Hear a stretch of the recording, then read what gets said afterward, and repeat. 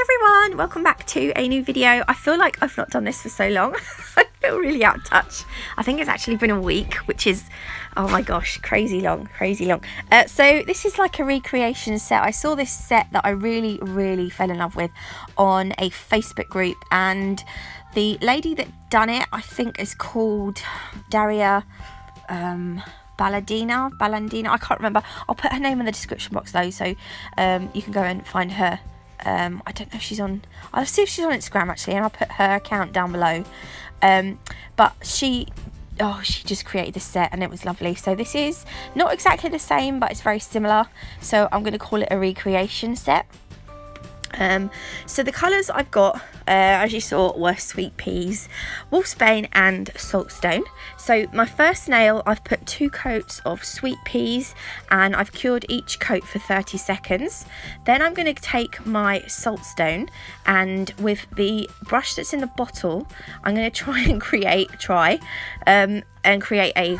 Um, I was going to say a, I don't even know what I was going to say then, a clock face. Uh, but I'm going to use my 8mm detailing brush and I've put a little bit of white on my mirror palette and I'm just going to neaten up the outside of the clock face just so that it's it's more of a, you know, a better shape. And then I'm going to put that in the lamp to cure for 30 seconds. You're going to need some artisan gel paints. I've got out my black and my white. Um, I'm going to use the black now to create a line between the white and the sweet pea gel polish.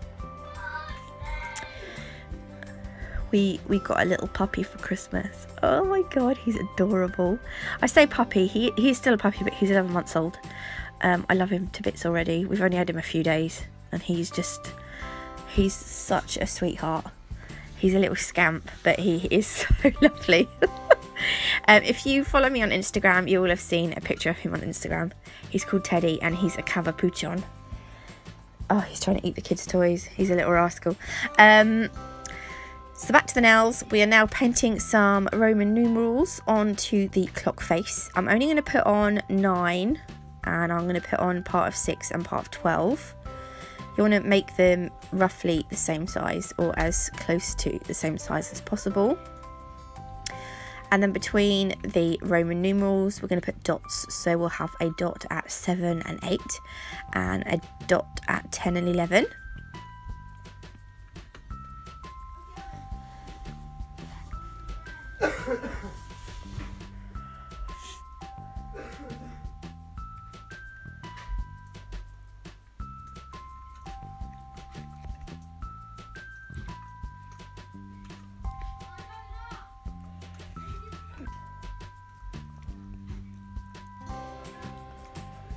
Okay, so I was going to cure that and then I remembered that I'm going to put a, I want to put a border around the clock.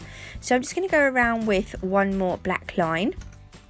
Um, I You can make yours as thin or as thick as, as you want. I wanted to make mine quite thick because I'm going to put some glitter um, on, on the, on the, uh, in the border, sorry, in the border.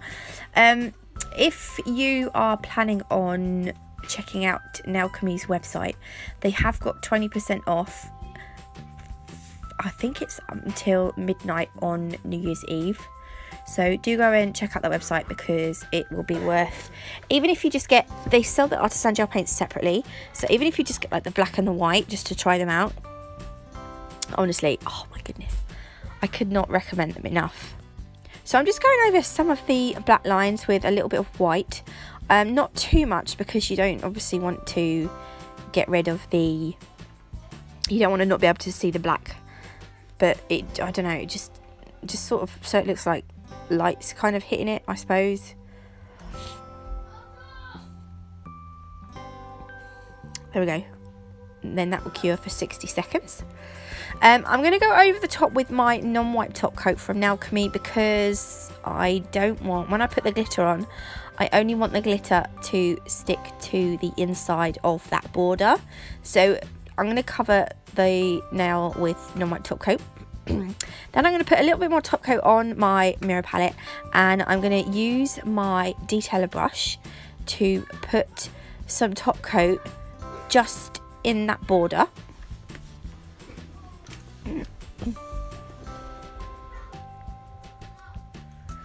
So try and be as neat as you can um, at this point.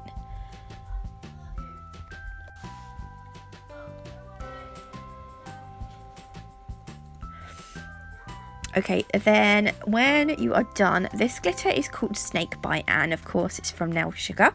It is really nice. It goes so nicely with this colour Sweet Pea. Um, I'm just putting some on the end of my brush and tapping it into that top coat. You can just sugar it on, but I don't want to, I don't want to flood it too much with glitter. Um, that might not be the right word but I want to make sure it's all covered but I don't want to go over the top because I want to yeah I don't want to go over the top. I'm just going to brush off any loose glitter that hadn't got in that top coat but there probably won't be a lot. Um, and then I'm going to go over the top with the velvet matte top coat from Nailchemy this is the best top. This is the best matte top coat you will you will ever use I've just ordered some more of this one actually because it's so good. Um, and then you're going to need some AB crystals. These are from Nail Sugar. Um, Nail Sugar, you can get 10% off your entire order using code NATMUG10. So do check out Nail Sugar's website. I love this snake bite glitter as well. You can get that from Nail Sugar too.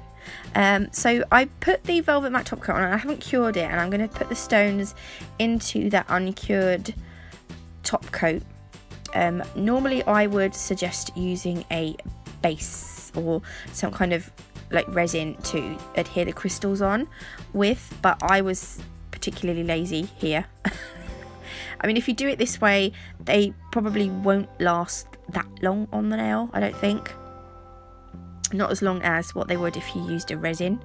So I'm just going to put a few each like at the top and a few at the bottom and then I'll cure that in the lamp for 30 seconds and that is our clock nail finished.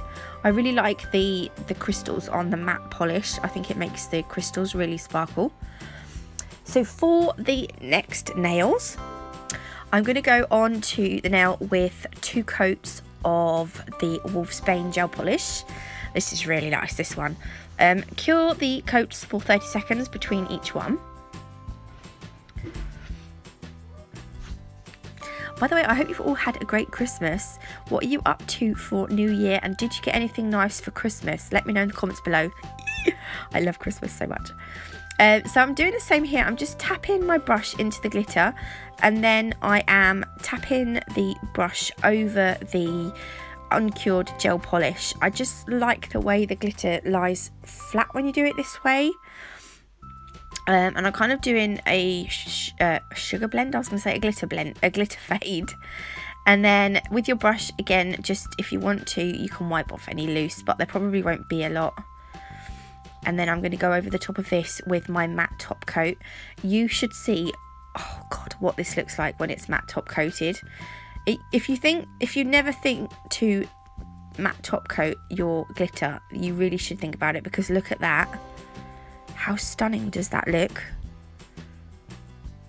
And then I've done the same thing but using um, the colour Sweet Peas and this is what it looks like. Now that snake bite over that sweet pea colour looks amazing. I love it so much.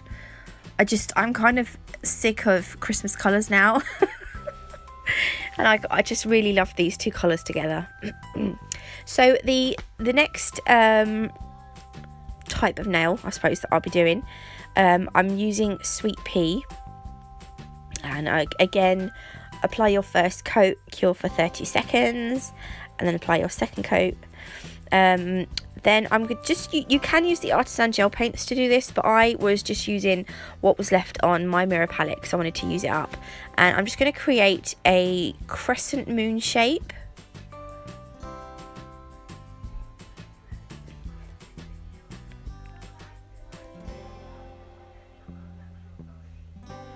It kind of goes a little bit wrong, but I do get it, I do get there eventually.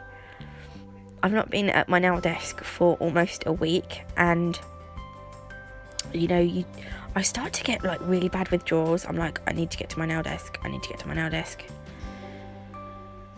And I, I sat down and I done a set yesterday but when I recorded it my camera was the wrong way. So if I'd have put it on YouTube, I would have had two black lines down each side of the video. Um, so I had to make sure when I record, my, my phone has to be uh, horizontally. It has to be horizontal and not vertical, otherwise you get two black lines down the side. Um, hopefully you'll know what I mean. uh, I'm going over now with some Velvet Matte. I cured the polish for 30 seconds. Um, again, I'm not going to top coat this, uh, not going to cure this yet. And um, I've got in here, this nail art wheel is from Nail Sugar. Um, I'm going to use these silver micro beads and the AB crystals again. And I'm going to put some crystal, see, this just was a bit of a nightmare doing it in your top coat because your crystals have a habit of going for a walk. so if you do it this way, just remember to be patient. So yeah, make sure you just get them where you want them. And then between each crystal, I'm going to put two micro beads. And again, they, they decided that they wanted to go for a walk as well. So because it took me quite a little, well, it didn't take me that long, but it, it was really fiddly. So I ended up not recording all of this.